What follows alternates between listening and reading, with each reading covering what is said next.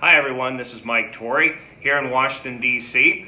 And the Edge Dairy Farmer Cooperative, the Voice of Milk, is conducting their fly-in this week.